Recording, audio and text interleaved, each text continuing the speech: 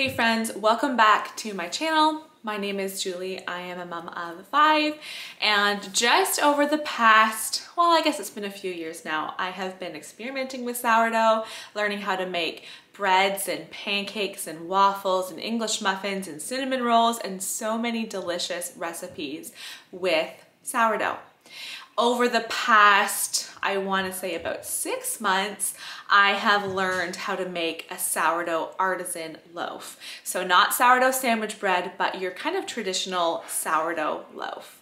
And I have had so much fun learning how to how to make a delicious and beautiful loaf. I found a recipe that I have been following and I have played around with that recipe a bit to work with my starter, like the, the hydration of my starter, the temperature of my house, the temperature of my oven, all these details. I've had to kind of just play around with the recipe to make it work. And you will likely have to do the same. I will link the recipe that I use. Shout out to Lisa from Farmhouse on Boone. Almost all that I know about sourdough I have learned from her. And so I got that recipe from her website and I'll share what I have adjusted as I talk about this recipe. So I'm just gonna go through step by step and share with you how I make the sourdough bread. Actually, first I should say, sourdough has such healthy nutritional benefits.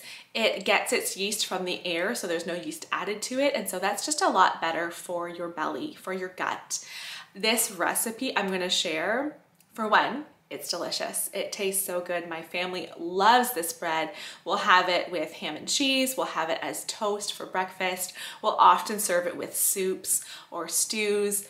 It's just versatile and we love it. This recipe only uses three ingredients, water, flour, I guess four, water, flour, your sourdough starter, and salt. So here is how I make this recipe. You want to start with an active, bubbly starter.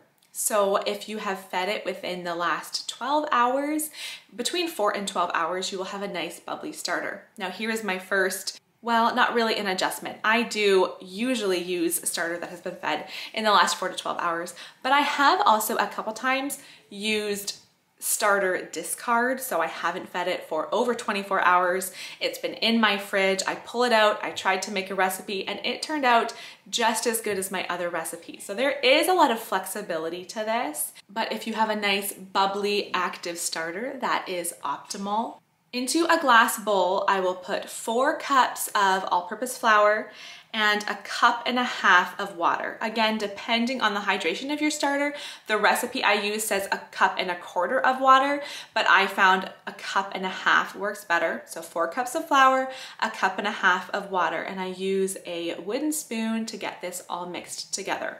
Now, side note I have to mention, I use unbleached all-purpose flour, and I've done a little bit of research on this because a lot of recipes will call for bread flour. And so what I have found, which I thought was really interesting, is that in Canada, where I am, guidelines, our standards are very high. And so our all-purpose flour has the protein levels of a bread flour in the US. So if you're in Canada and you use all-purpose flour, that all-purpose flour is high quality, high protein. If you're in the US, it's different. I just find that really interesting, but we are blessed, I guess, in Canada to have this high quality all-purpose flour. So once I have mixed that flour and water together, I am going to add one cup of my sourdough starter and I sprinkle on top two teaspoons of sea salt. Now here is where I get my hands messy. I put my fingers right into that mixture and I start to just dimple that starter and salt into the flour and water mixture underneath. I am not going to be kneading this bread or kneading this dough. I just kind of keep pressing my fingertips in, scraping off that extra starter that gets on my hands and just getting that mixture all mixed. It will be a little bit lumpy, it will be wet, it's not gonna look like smooth bread dough yet, but you do want to make sure that all of the ingredients are incorporated. Then I lift the dough and just pour a little bit of olive oil into the bottom of my bowl.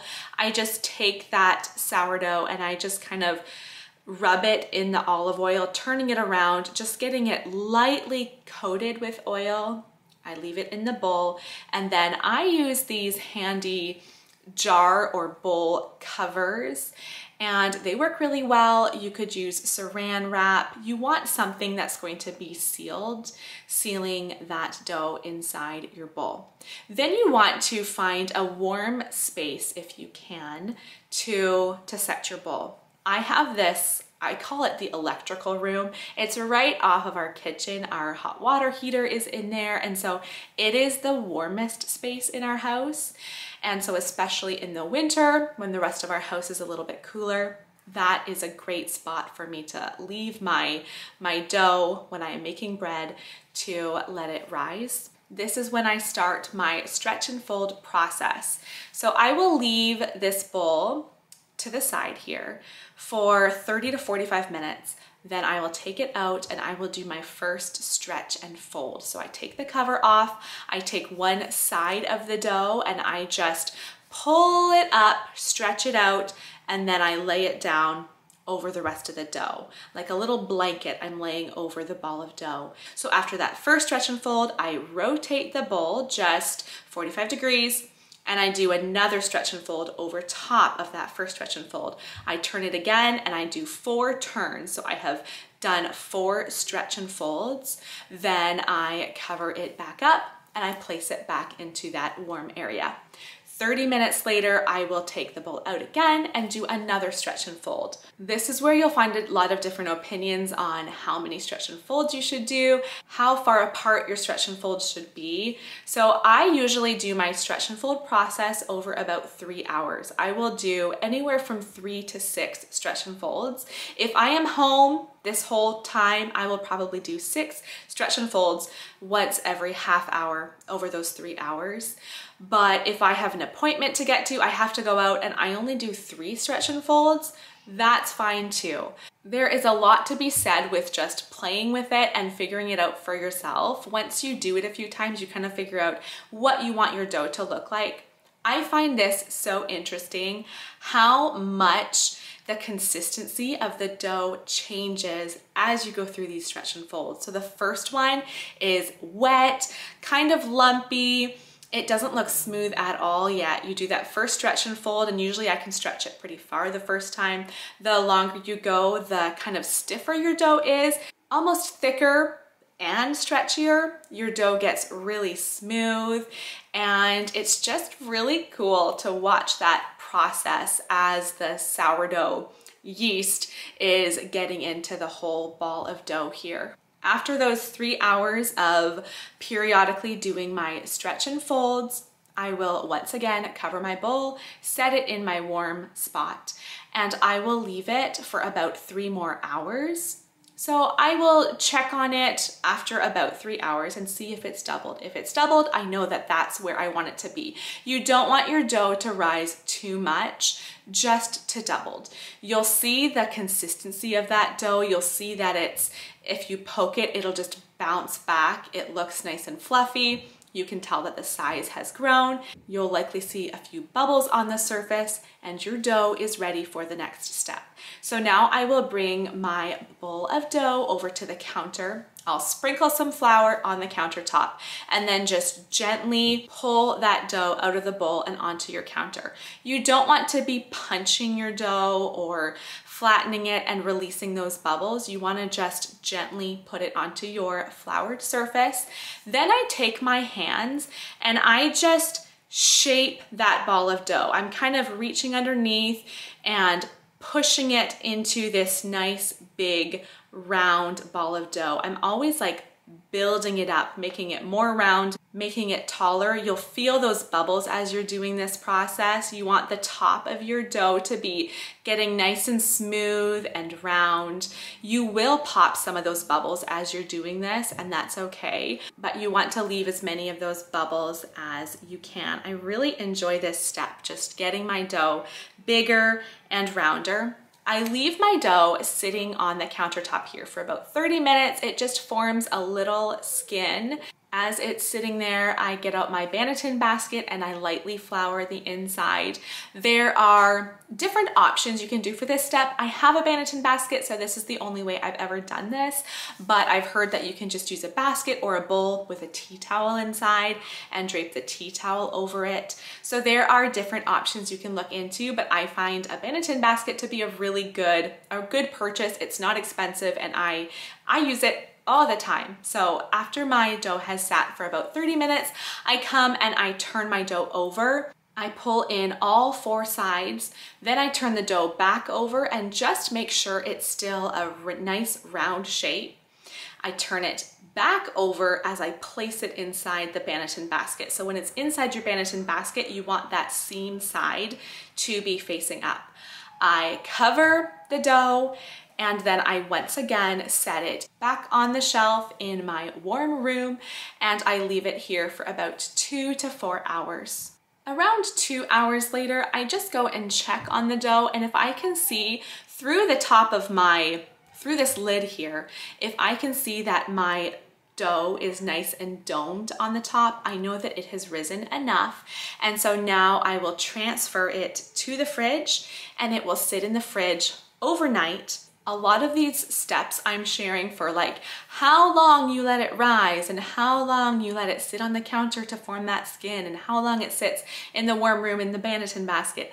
A lot of this is just things I have learned from reading recipes, Facebook groups, watching YouTube videos, that these are are things to do when you make a sourdough loaf. I have not learned a lot of these things from personal experience. So I haven't tried not even leaving my Banneton basket on the counter and putting it straight in the fridge. Maybe you could do that and it would be fine too.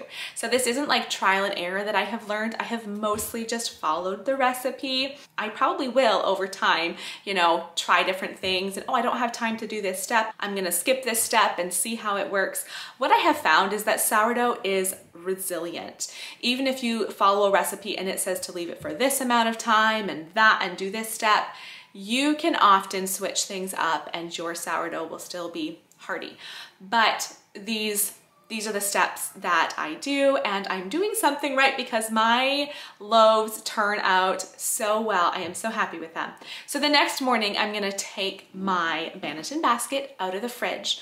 I have my uh, what do they call this? Like a parchment paper liner. I'm trying to remember what the name of it is right now. I think it's called a sourdough bread sling. So when I first started making sourdough, I used parchment paper for this step, but then I found this sling. I'm not wasting anymore, and I really love how it works. So I lay this sling out. I will dump my bread dough here on top. I'm just gonna dust the top with flour and just use my hands to coat the whole top of the loaf with that flour. Actually, you know what? I totally missed a step. The You are gonna wanna get your Dutch oven out and you're gonna stick that in the oven and turn the oven on to 500 degrees. So I put my Dutch oven into the oven and then turn it on so it heats up with the oven up to 500 degrees and I leave it for about 45 minutes. And it's when the Dutch oven is nearing the end of its warming up time. That's when I skip ahead to this step and get my dough ready to go into the oven. So I have floured the whole top of my, my dough now. And this is the fun part where I get out my bread lame or you can just use a razor blade and you get to just make a fun design on the top of your bread dough. A basic one I often start with is just a plus sign. Uh, then I started doing these little leaves on the side. You want to have some cut on your dough to let the bread breathe. It's going to need air to escape somewhere. So if you don't make a cut, it will make its own cut and not look as pretty as one that you make yourself. This is just a really fun step. It's been enjoyable to practice and I've gotten better at making these designs as I go. And now I'm gonna take the Dutch oven out of the oven, take the lid off, and I'm gonna transfer this bread sling right into my Dutch oven. I'm gonna turn my oven down to 475 degrees, lid on, and I'm gonna stick that Dutch oven into my oven for 18 minutes. My times are a little bit funny here, but like I said, I have played with it. Every oven is different, and I find that my loaves turn out perfectly when I follow these temperatures and times. When I first started making this recipe, I did follow the recipe I was following online step by step and the oven temperatures were a little bit warmer, the, the cook times were a little bit longer and my loaves were definitely overdone, especially the bottom was really dark. And so I played with oven temperatures and times and this is what I have found to work perfectly for my oven. Yours will likely be different. So 475 degrees for 18 minutes. Once that 18 minutes are done, I take the lid off of the Dutch oven. I turn my oven down to 450 degrees and I leave it for 16 more minutes. Then I take the bread out of the oven. I love this step actually when I take the lid off of the Dutch oven because it's just fun to see like, oh, here's the reveal. How much has my bread risen? How does that pattern look as it's baking? Uh, and then you just leave it to, to brown for that last, that last 16 minutes is what I do. And then when I take it out, here is the look of my finished loaf of bread. You do want to let your bread sit and cool for a while before you cut into it. Again, this is not tested by me, but I hear that your loaf will be gummy and it's just a lot harder to cut if your loaf is warm. So I will leave it for two, preferably three hours before I cut into it. So how the timeline looks for me, I usually will start my, my recipe at about nine in the morning it's done all of the stretch and folds by noon, so it sits until three o'clock. Then I shape it and leave it in the Banneton basket for a couple of hours. I'm usually putting the Banneton basket into the fridge right around five o'clock. It stays in the fridge overnight. First thing in the morning, I turn on my oven. Uh, an hour later, I get my bread into the oven and it's out of the oven by about 9 or 9.30 and then I can slice it and we will eat it at lunch. And that's it. I think I covered all the steps for how I make this bread. I hope that you'll try out this recipe. It's so good for you and so simple once you get into the habit. So the first couple times I made this, I was like, oh my goodness, watching the video, checking the recipe, checking the steps, checking the time, and it felt like this is a lot to make this bread. And by about my third or fourth time, I had the recipe memorized, and so now I can throw it together, hardly even thinking about it, just pull it out, do my stretch and fold as I'm homeschooling the kids, and just little breaks throughout the day and now I find this process just really simple and I am making at least two or three loaves of sourdough bread each week. And believe me, it gets devoured. I hope you enjoyed this video. I'd love to hear down in the comments if you try this recipe and how it turned out, what you think. Thank you for watching. I'll see you guys next time.